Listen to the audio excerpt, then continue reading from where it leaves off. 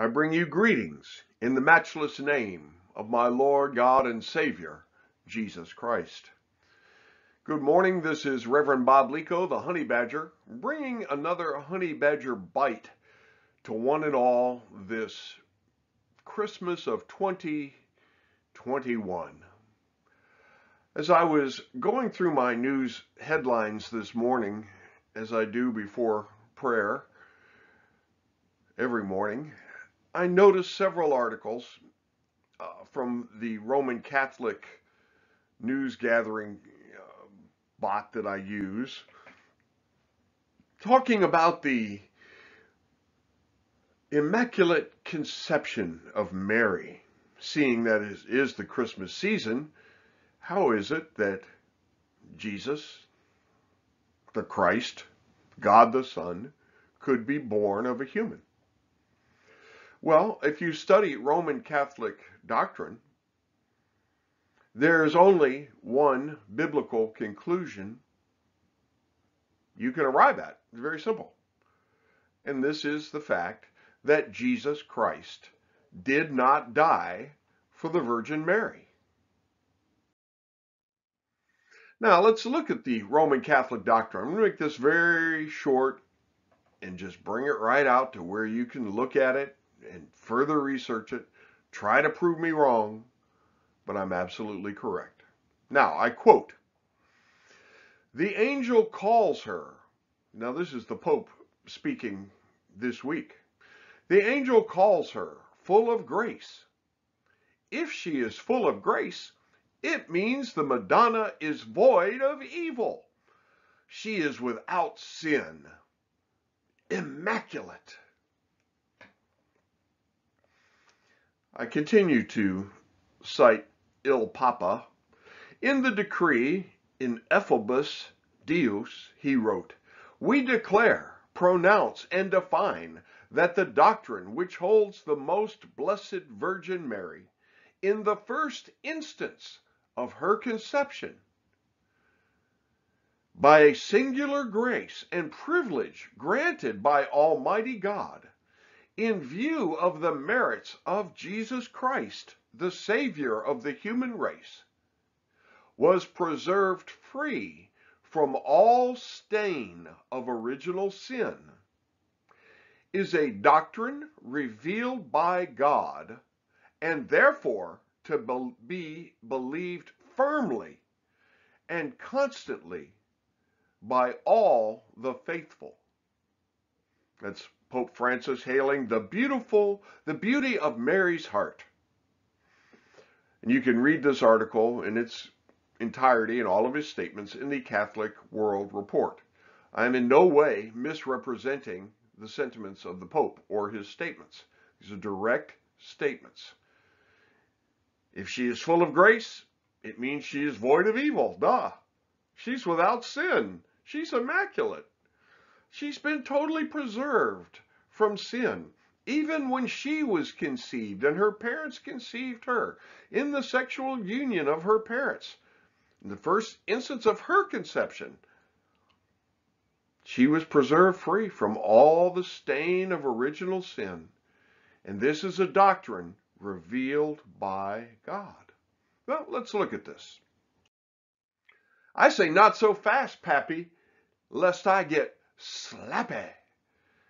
I would slap the Pope in the face. I don't pray for the man, and I've urged all of my followers and readers not to pray for him based on 1 John. Well, let's look at his statements. If she is full of grace, it means the Madonna is void of evil. She is without sin, immaculate. Really? Does, is that what it means by, by making the statement full of grace automatically preclude any sin or defection or defect at all? in Mary, morally, spiritually, physically, no defects. Does that what is that what the term means? Is that what the angel was indeed proclaiming directly to her right then and there? I don't believe so. I think you can read this very easily as the way God talks to humanity. You see, our God is not bound by time. He is timeless. He is apart from time. He acts within our time frame, but he himself is eternal. No beginning, no end. So when he says things, they don't necessarily have to mean immediately. Here's some examples. Remember the example of God speaking to Abraham. When God called Abraham and spoke to him, he was childless. He was past the age of bearing children, as was his wife. And yet Romans 4:18 reminds us, and it's in many places throughout the Old and New Testament, that God calls Abraham the father of many nations. He says, "Hello, Abram." He changes his name his very name meant the father of many nations. So every time anyone said Abraham, they said the father of many nations, come here. Before he had any children at all. He became the father of many nations. And I would say Mary became full of grace when Jesus was incubating in her womb because Jesus is the grace and totality of the grace and wisdom and love of God, all wrapped up in a human form. Let's take another example. Remember Gideon. Gideon's out there kind of threshing his wheat, running away from the Midianites, hiding in holes and caves. The angel of the Lord appears to him and said to him, The Lord is with you, you mighty man of valor. Gideon was fearful and afraid and hiding and running away from the Midianites. He was anything but a mighty man of valor. His family was anything but a great family. They were the least of families. Read the whole story in Judges chapter 6. God calls him a great man of valor. The Lord is with you you mighty man of valor. And I know Gideon's looking all around. Who are you talking to? Me? Not me. I'm not a mighty man. And we know what happens. So what do we see? Just in these two examples, we see Yahweh's usual MO, mode of operation, is that he is a God who calls things that are not as though they were. He calls things that are not into existence. Romans 4:17. Isaiah tells me that he knows and calls the end from the beginning. Isaiah 46 verse 10. So he often speaks prophetically about his servants. And Mary is no different. I believe that that is certainly a prophetic, a, a statement of fact but a future statement that was about to be brought to pass. She was about to become full of grace. Now, grace is unmerited favor. It, when you receive grace from God, theologically speaking, we are considering and, and understanding that God is granting us a benefit that we do not deserve. We couldn't do anything to earn. It's sovereignly given out of his goodwill. So the fact that the angel de declares that she's full of grace doesn't mean that she is void of evil. Doesn't mean that she is without sin. Who needs grace? Well, sinners. We lack something that we can't obtain, that we can't work for, that we can't earn. Why? Because of our inherent sinfulness.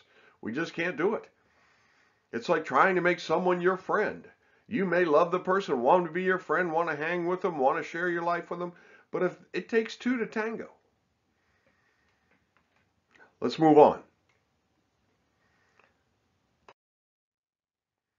Well, when you start with a faulty and biblically errant foundation, everything you build on it is going to crumble and not withstand the weight.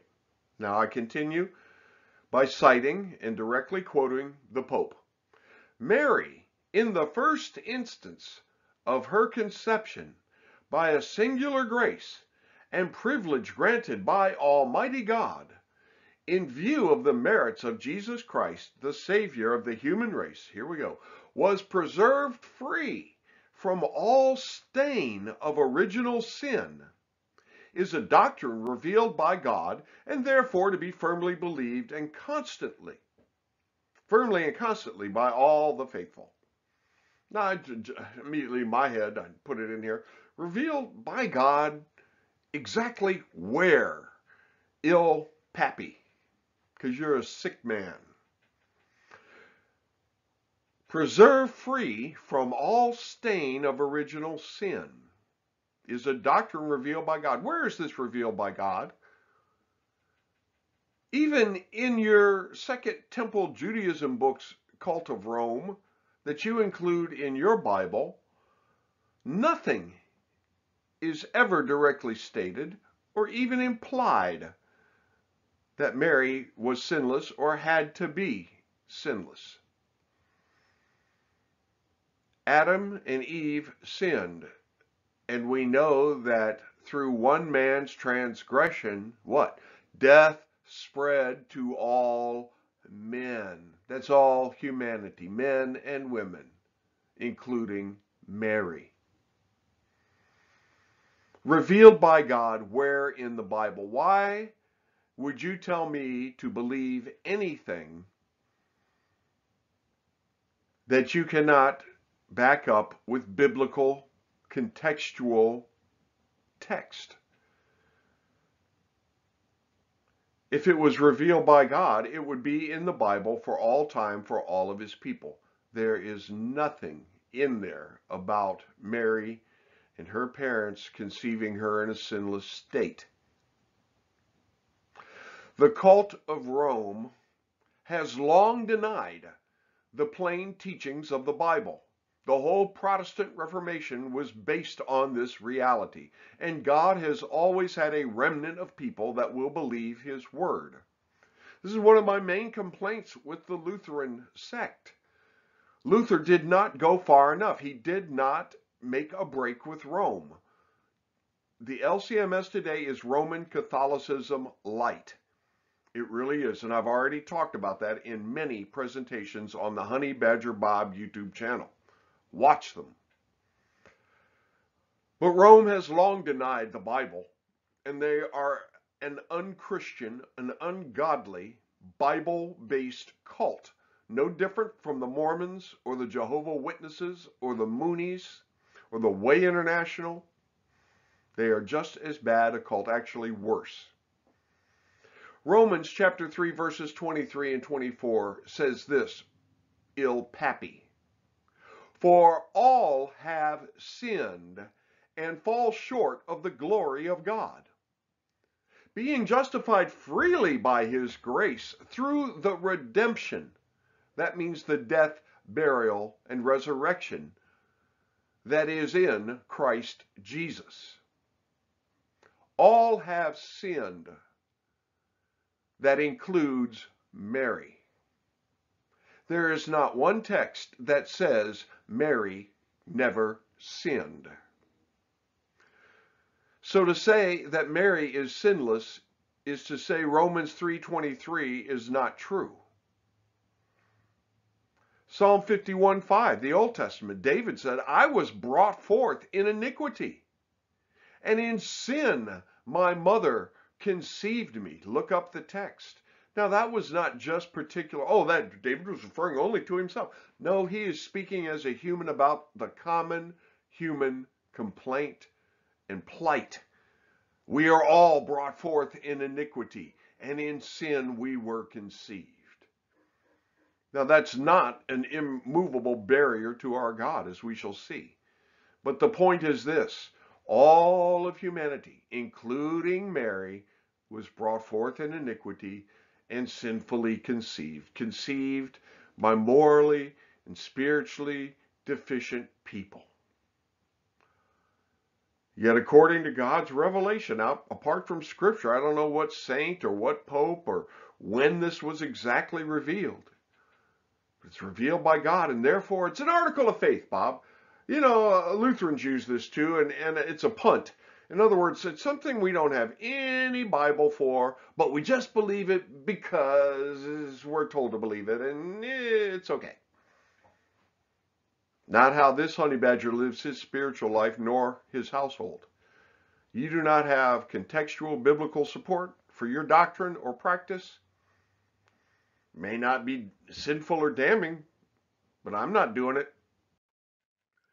You see, my friends, Jesus Christ died for sinners only, which is great news because we're all sinners. Romans chapter 5 verses 6 through 8. For when we were yet without strength, in due time, Christ died for the ungodly. That was me. Hallelujah. For scarcely for a righteous man will one die, yet peradventure for a good man some would even dare to die. But God commendeth his love towards us in that while we were yet sinners, Christ died for us. That is what's called good news. While we were yet sinners, Christ died for us. 1 Timothy chapter 1 verse 15.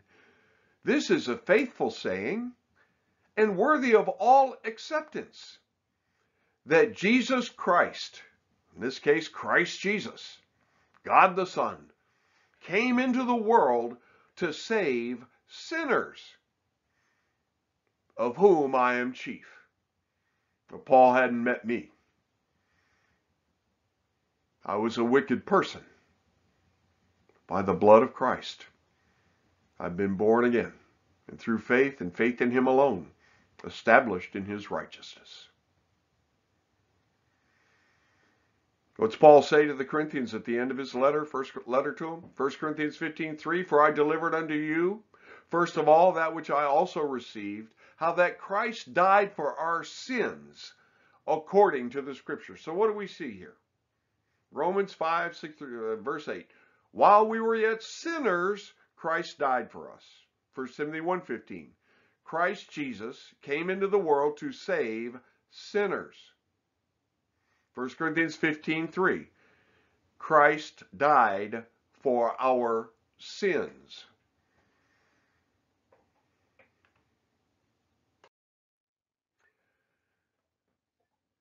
And because all men sinned, as I mentioned earlier, death passed to all men, even Mary. Romans 6:23 For the wages of sin is death, but the gift of God is eternal life through Jesus Christ our Lord. Answer me this, cult of Rome, how did Mary die? if she was sinless.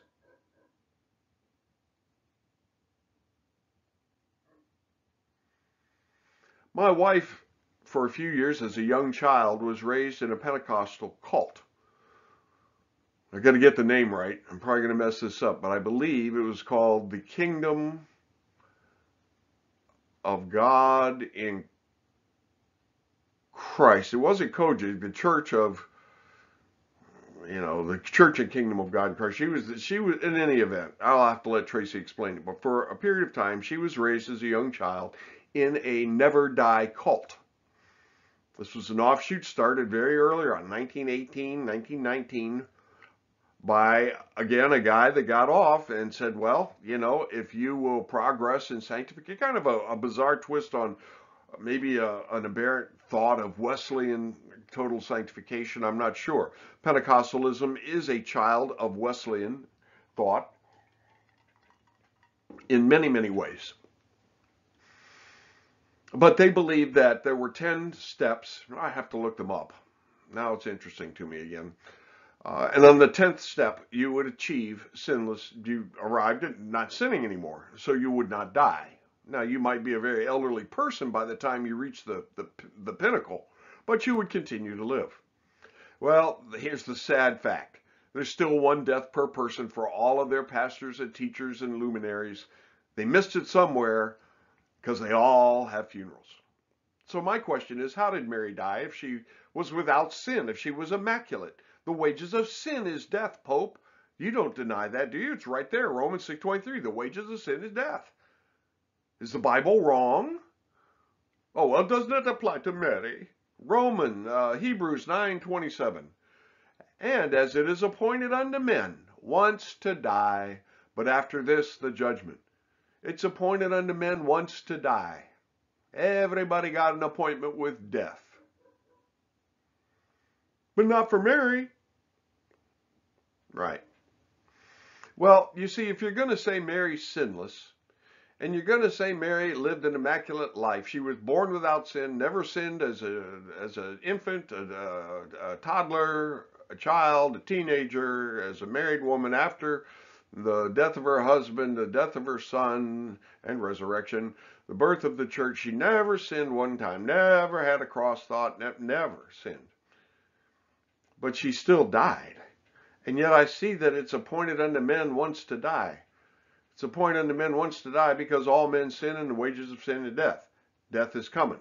Prepare for it. Think about my dying every day. And I look to the Lord Jesus Christ, the author and the finisher of my faith. And I can't wait to leave this body and to be united with the spirits of just men made perfect. Looking forward to it. I'm a day closer to the grave or his return today, and so are you. Hallelujah. Let me quote Pope Pius XII in 1950. This is when a new doctrine was believed and must be firmly accepted and received by all the faithful. Pope Pius declares, Now God has willed that the Blessed Virgin Mary should be exempted from this general rule. Romans 6.23 and Hebrews 9.27 rules. She, by an entirely unique privilege, completely overcame sin by her immaculate conception. And as a result, she was not subject to the law of remaining in the corruption of the grave. And she did not have to wait until the time for the redemption of her body. Say what? Let me break it down for the non-cult members. What they're saying, the 411 on this, is that when Mary died, she wasn't buried in a tomb or a mausoleum or anything like that. And then her body just slowly decayed and it returned dust to dust, ashes to ashes, the normal.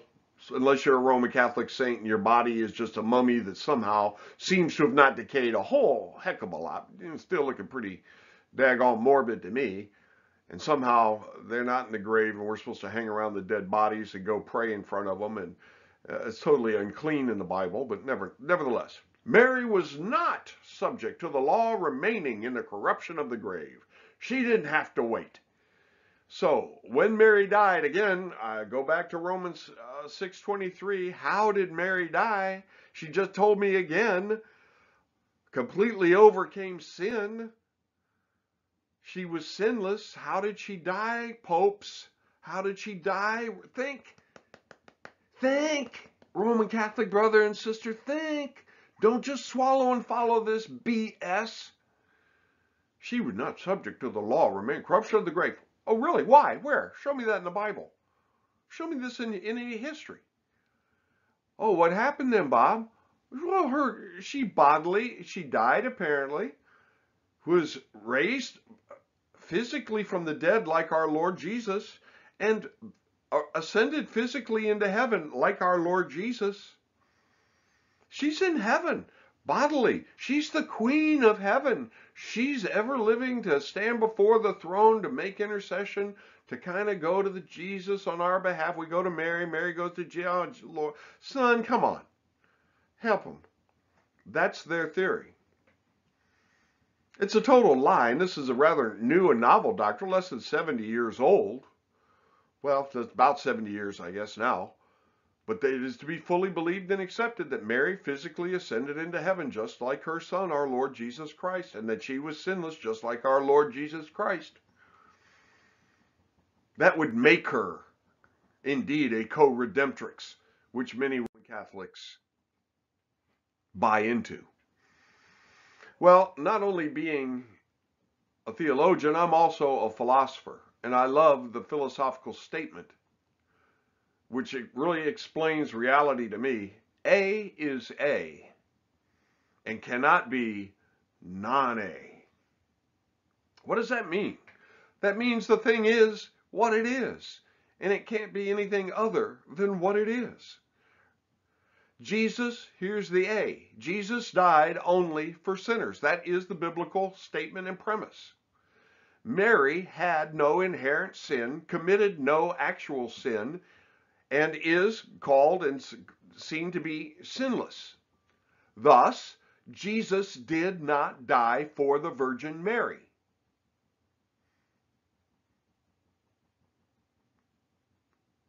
Do you understand? Jesus died only for sinners. Paul said Jesus Christ came full of full acceptation. Jesus died on, hey, and I'm the chief of sinners. He owned, for God so loved the world, he gave his son. So if Mary or anybody you know, and if you think you yourself have no real sin or issue with sin, well, the atoning death of our Lord Jesus Christ is not for you, my friend. Jesus didn't come for you. He didn't come for the righteous. He came to save sinners. And if you have no sin, Jesus is not your Savior.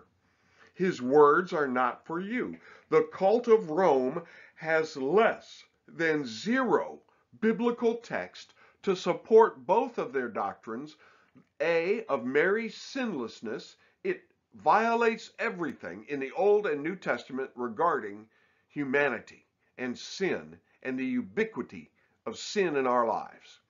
Number two, they have less than zero biblical support at all for Mary's physical assumption into heaven.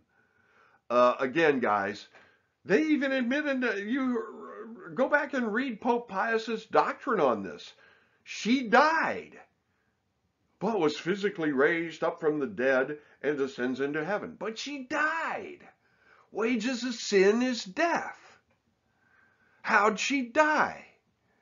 They cannot, that is a mountain they cannot go under, they cannot go around, and they cannot go over. They have met the immovable object. And it's called the reality of her death, and the reality that her bones are still in a grave somewhere and she is awaiting her reuniting with her physical resurrection body as we all are. You and I and Mary know Jesus died for her sins and was raised for her justification. And yes, she is in heaven because she believes that her son is in fact God the Son. Rome teaches its people lies about Jesus and about Mary and their damnable lies. People spend their entire Christian walk praying to Mary or some other deposed or dead saint. And have you ever noticed, I'll end with this, It'll be just at half an hour. Have you ever noticed that over 90, I'm guessing, but I'd say 95 maybe percent of Roman Catholic religious idolatry and statuary show our Lord Jesus as either an infant in Mary's arms, which is extremely common, or as a corpse being held by Mary. You never see our Lord Jesus very seldom as an adult in command. He is always an infant, always on Mary's breast, being coddled by her. He's just a little, you know, he has a little crown on his head. She has a huge crown and angels all around her and all of this. Little baby Jesus or dead Jesus. It is a cult, my friends. If you are part of a Roman Catholic congregation, you may have a priest that loves Jesus. There are many born again Catholics. But your doctrines, the doctrines, the official doctrines of your cult, it's not even a sect, it's a cult. They use biblical words and terms, but they do not mean what the Bible means. And they deny the fact that people need to believe in the Lord Jesus Christ and in his death, burial, and resurrection alone in order to be saved. and not what the church teaches. Merry Christmas.